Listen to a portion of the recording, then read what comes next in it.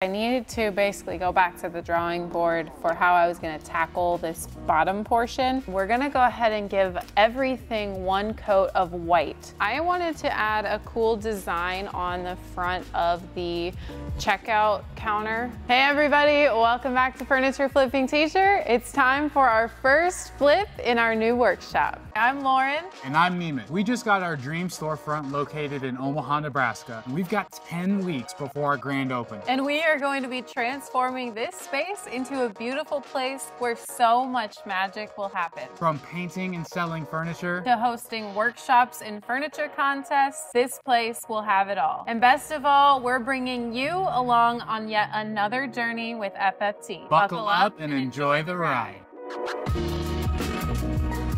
Now that we've got our flooring laid and things are really moving and grooving, it's time to start hitting the ground really hard because we are in the nitty gritty. We are gonna be making over this reception desk with Beyond Paint. Thanks so much to Beyond Paint for sponsoring today's video. We've got some work to do on this to bring it back into the modern times. I found this on Facebook Marketplace actually, and we paid $500 for it. So it's the most heavy thing we've ever, ever, ever, ever lifted and put in our truck. We drove about an hour away two times because this is two parts and it only would fit in our truck one part at a time, but we got it here. And so I have some ideas that I am going to implement on this to make it much more modern and to make it really fit in with the whole style of our new storefront.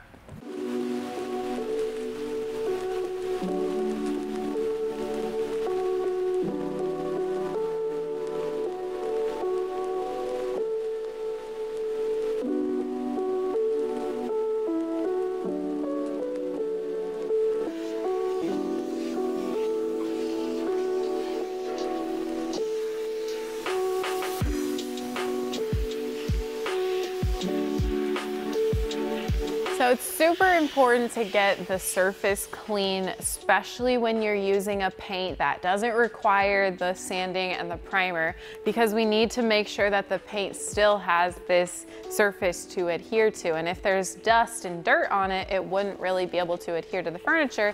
It would adhere to the dust and dirt, which then would come right off. Uh, Beyond Paint recommends Simple Green as the cleaner. So I've got some diluted Simple Green here.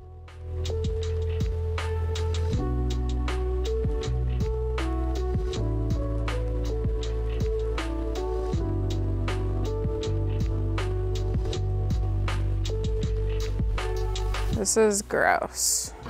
Granted, kind of been here in the workshop for a while, been in the back of our truck for a while, it was in their storage unit for a while, so to be expected, but still, it's pretty gross.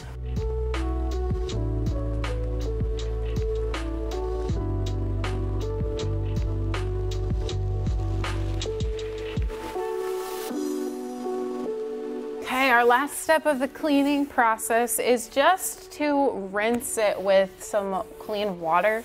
Uh, sometimes the simple green can leave behind a bit of a residue. And again, we just want everything free and clear so that that paint has really great adhesion. But I can tell you, even though it's still looking outdated, it's already looking a lot better now that I've just gotten the cleaning done.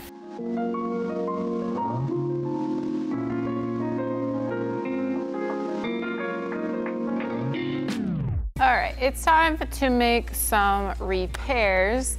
And a lot of the veneer or like the laminate top layer is kind of peeling back, especially down around the bottom edge.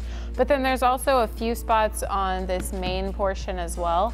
So basically I am going to kind of just remove as much of it as I can down here. And then I'm gonna have to Bondo it so for the repairs, I'm gonna be using Bondo all-purpose putty, and it comes in a two-part formula. So I've got the first part here that I'm getting out of the can, and then when you mix the second part together with this part, it will start to harden. So you kind of have to work a little bit quickly once that starts to mix together because it does like to harden pretty quick. So we're just gonna want a consistent color here, lighter blue. And then once that's all consistent, we'll be able to just go ahead and wipe it onto whichever surface needs to be repaired. It's good to work in small batches. Even my batch here is kind of on the larger side um, for how quickly this stuff dries. So I'm just gonna put it on some of the chips that need to be filled in here. Once it hardens, we'll be able to sand it back nice and smooth.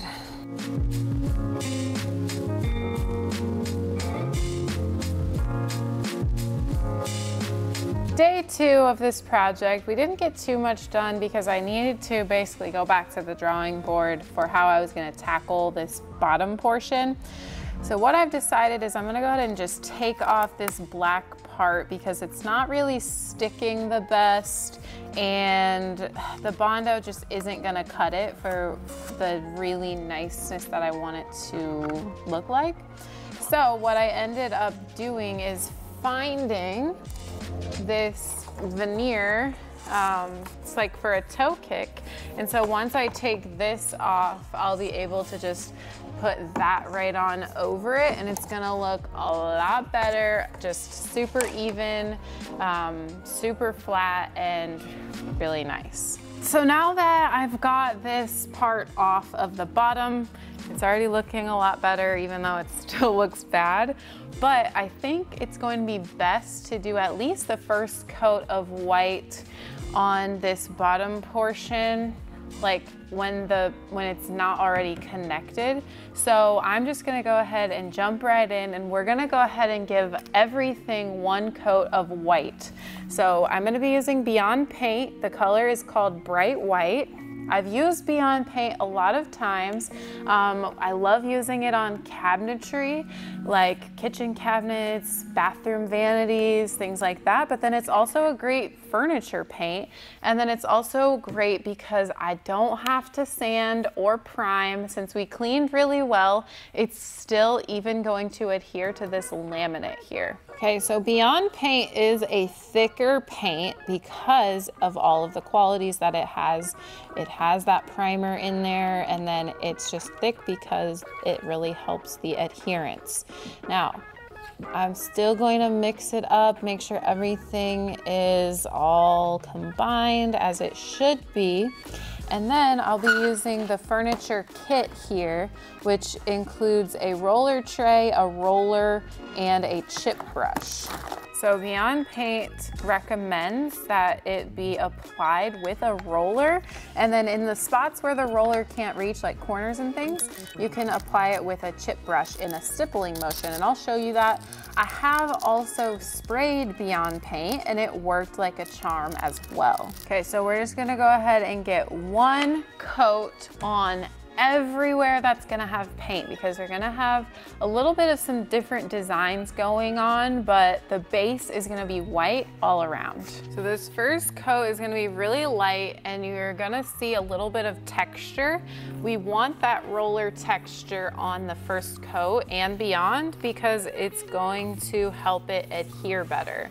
That's another reason why it's great to apply it with a roller because the more texture there is, the better it's going to hold up and be durable. But don't get confused because it's not really going to be like rough to the touch. It's just going to have a tiny bit of texture for that adherence. Another reason why I chose to use Beyond Paint on this specific unit is because of the countertops.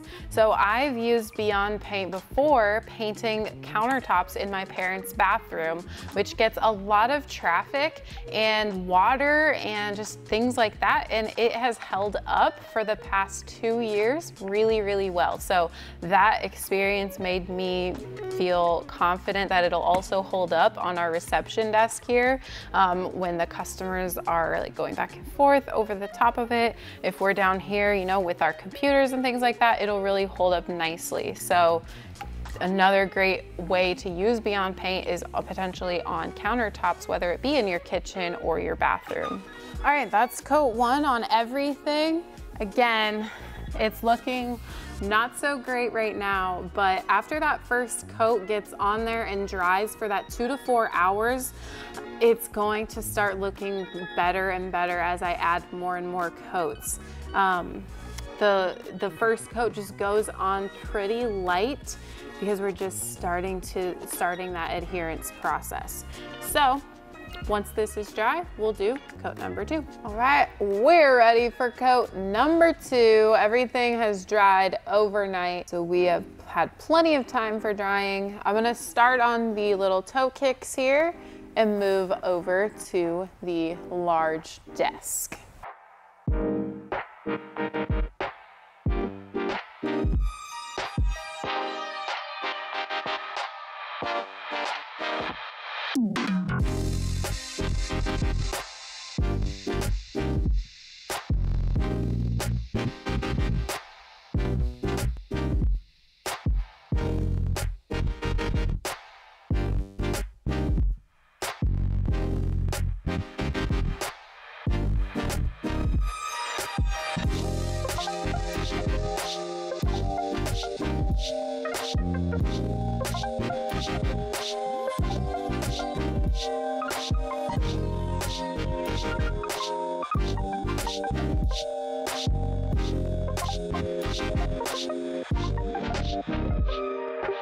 Next up, I am going to just kind of prep because I'm, I still need to do some more coats of paint, but I'm gonna start prepping for the step after the paint um, while this second coat is drying. So I wanted to add a cool design on the front of the checkout counter. So what I was originally planning to do was put like some fluting or some dowels on it, but it was going to get pretty expensive. And so I sort of was looking around at the hardware store, trying to figure out what I was going to do instead, but still kind of get that same look or that same design. So I ended up landing on this idea where I am gonna be taking veneer edge banding, so it's about three quarters of an inch wide, and I am going to take it and make it the fluting style down the front of this cash wrap. So I need to go ahead and cut this to size. I've measured and it's 40 and a half inches from up here until the bottom down here. And so I need to start cutting. I got, I think, eight or 10 rolls of this, um, but this was actually the more budget friendly version of the route that I was originally going to go. So Let's start cutting some veneer edge banding. All right, everything is painted. So that means that we're able to move on to the next step. I will say the white needed a few more coats than I anticipated. So I ended up doing about four coats everywhere that I painted white. And that was what got me to the full coverage. So keep that in mind when you're ordering the Beyond paint. It's a great paint, but the white is just a little bit more opaque and you're gonna need more coats.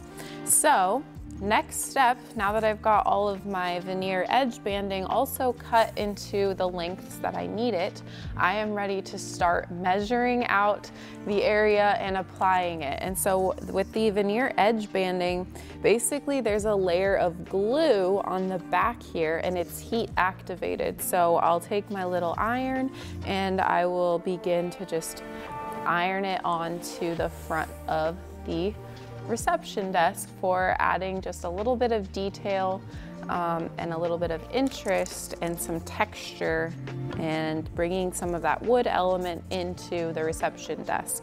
All right, so I really want to mask this crack here in the middle.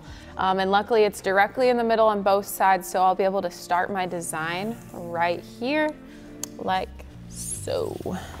All right, I'm gonna change gears really quickly because I want to actually put this off of the pallet so that I have just a better angle. But before we do so, so we don't have to do that again, I am going to go ahead and attach the toe kicks down here. So all I'm gonna do is line it up underneath and on the edge here. And then I'm going to use my brad nailer to nail it on and to connect it.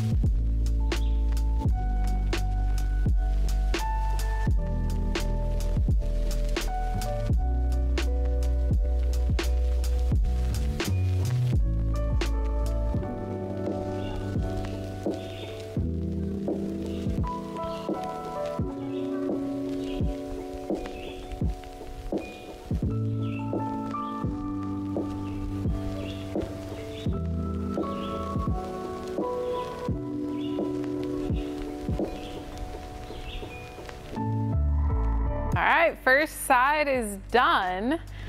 It's looking a little bit different than I originally had in my mind, but I like the way that it looks and it's giving that, like I said, the visual interest and some texture on the front here. So it's not just a stark white. And then again, this will be covered up back with the metal part that goes up there. And so I think it's really coming together. Once this side, or once that side's done, I'll go back around and trim all of the excess um, veneer edge banding down below, but we're moving and grooving. This is a little time consuming, but it's just like a cheaper way to give that textured look and to just kind of add a design. You could even do this on the fronts of drawers. You could do this on the like anywhere really on some furniture. So just another, another way to upscale and try new things with your furniture flip. So after I got this front portion done and I was about ready to move on to the other side, I'm just not for sure if I'm liking where this is headed.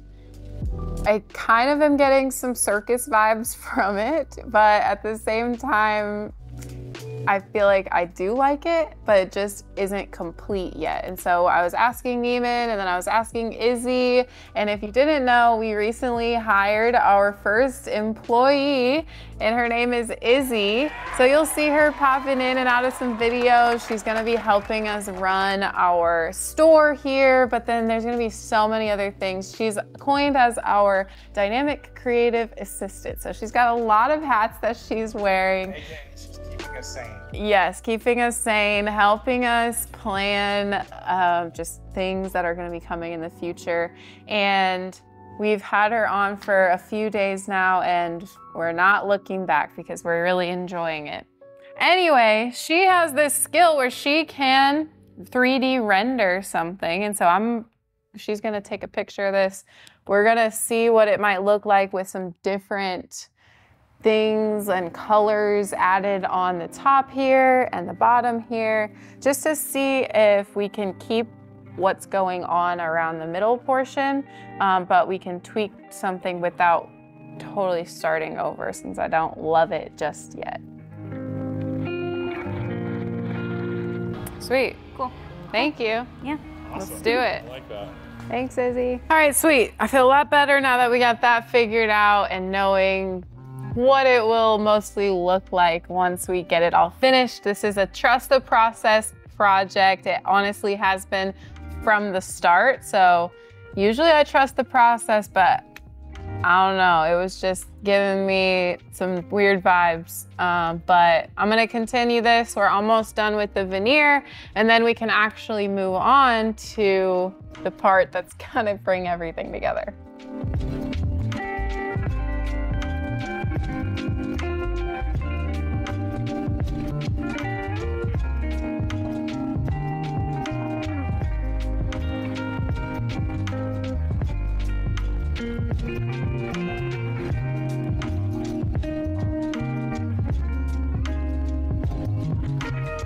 Done adding the veneer. We're gonna do one more piece and it's going to be basically where the two pieces come together. I will stick it over that crack, but that's going to happen when we actually place the desk in the spot where it's gonna go. So now let's tackle the countertop. Before we move on to the tops here, we've got a couple of packages that I wanted to open on camera from you lovely people and Neem's gonna join me. This one is coming from Miss Wanda Dillard. Enjoy your gift from Wanda. And we got ourselves finally forearm forklifts. forearm forklifts. which, why did it take us three years to put together the idea that these might be smart to use? Who knows? But thank you, Wanda. And that's what, they're just the moving straps. So Yeah. it's gonna allow us to leverage I think these it's instead of our backs. yeah, and I think it's supposed to like take off like 40% of the weight or something, 70%, something like that. You strap them on to the furniture and your forearms, and then you lift it, and it's supposed to be a lot lighter and easier to lift. So I'm kind of intrigued. I don't think that they'll be able to work on these because these are quite large and like awkward. But plenty of other furniture that they will. yeah, Thank you, Wanda. thank you, Wanda. And then Universal Strong Arm. Oh, snap. These are These are toilet levers. They are brass, goldish color. I didn't even have these on the wish list. what? Ah, you guys, you guys are awesome. Let's see who this is from. Hopefully they wrote a note. All right, here we go. Got two notes? I think it's the same Yeah, it's the same thing. Okay. Hi, Lauren and Neiman. We've been watching your channel for quite some time. So excited about your store. Your bathrooms are so gorgeous. Hope you like the last detail Oh, that's from awesome. Diana and Jonas. Oh, thanks, Diana and Jonas. You guys, I think those are the ones that reached out to us on Instagram saying they had something for us. I see. I see. I see you guys. You guys are always looking out. So we appreciate the gift. Um, and yeah, if you want to send us anything, even if it's not on our list, just reach out Yeah. and we'll send you the address here. We'll take Um, the hint. yeah. I'll uh, have my dad on that right away. So he'll install those for me, I'm sure. Those are really gonna help bring together that. Like it's a- hundred percent. I like mean, everything else is brass except that. So I think little this'll- details. This will be perfect. Cherry on So, top. Thanks to Wanda for these and Diana and Jonas for these. I need to get back to work. So for the tops, I am so excited because I am going to try out a marbling effect for the first time. I'm just kind of gonna get in the zone, be creative. I'm just gonna wing it. I have no idea what I'm actually doing, but we're gonna see how it turns out. So I've got the Beyond Paint Color Soft Gray, and this is gonna help me create that marbling effect. I've got a wet towel here to help me blot. I've got dry towels, and then I've got a chip brush to just start. And I'm just, just gonna start. I'm just gonna, just gonna wing it. I'm a little nervous, but I got this. I need to parking lot the marble effect. It wasn't coming out how I thought. Still kind of want to try it, but I also might just go ahead and paint them all gray. We'll see. But even and I were sitting here looking at this, and I just kind of was like, you know, I have all of these veneer pieces left over, and I originally planned on doing them about like two-ish inches apart. But then as I went and went, I just added, there was so much space in here. We think that it'll look better to have more added. And I counted and I have enough of the edge banding left to go ahead and put them um, in the middle of each section just to really help mitigate more of that white dead space. And I think it'll help the look of it as well.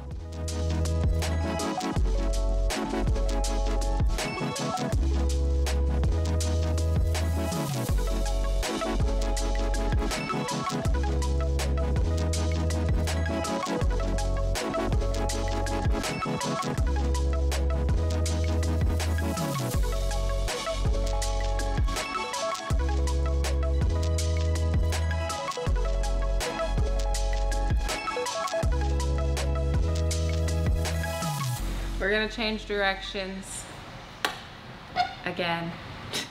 Um, I don't know. I just can't get it how I want it to look. I have this vision in my mind and I'm not really being able to execute it on this. This is my first time trying it, so definitely gonna practice more. But as for this project, I'm ready to get this piece done. So what I'm gonna do is I'm just gonna go ahead and paint the bottom countertop with a darker gray, the pewter from Beyond Paint.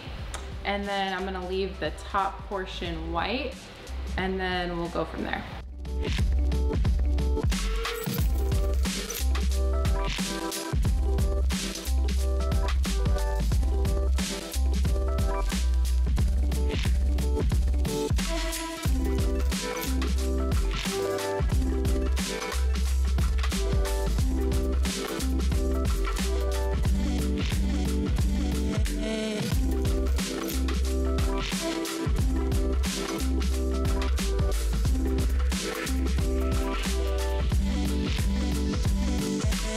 Okay, now that the countertops are all painted, it's time to go ahead and do the top coat. Now you might be wondering, Beyond Paint doesn't need top coat, and you're right, but whenever you do a countertop, Beyond Paint suggests to use a top coat because it's gonna be a lot more of a higher traffic area, you know, things scooting around on it and it's also gonna help create it to be a waterproof surface. So they do have a multi-purpose sealer. It's pretty thin, um, and it comes in the 16 ounce jar. You apply this the same way that you apply the paint with the roller and just roll it on the surface everywhere you want that top coat to be. What the? Yeah, it's super thin.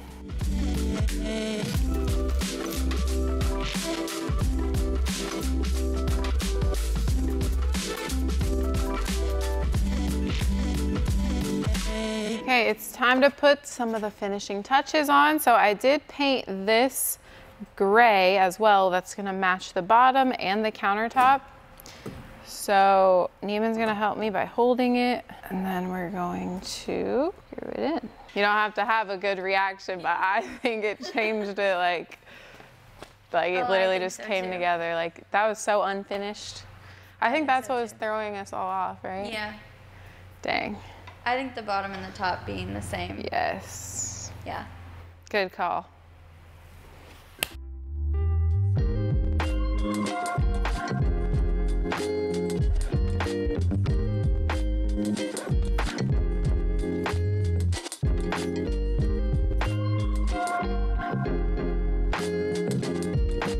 Surprise!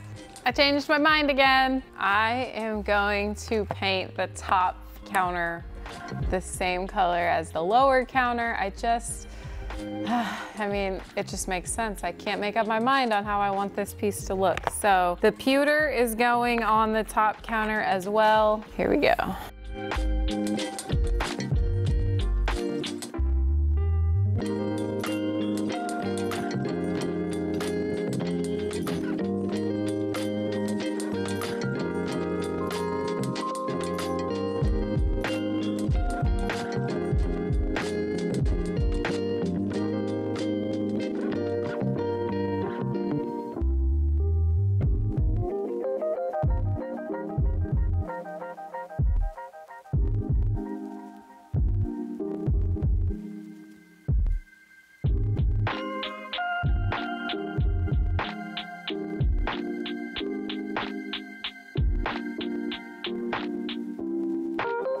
Reception desk is done and it is in its place and it looks so good in here. Like Neiman went out and like walked in and looked at it and he likes it now. And I think it really just came together really nicely. I can't wait to, you know, spruce it up even more with some decor, adding our shelving back behind here and just really making it look like it belongs and like it's not the only thing in this room as it is currently. But we didn't do this ourselves. Like I said at the beginning of this video, it is literally the largest piece that we've ever had, largest like heaviest thing we've ever had.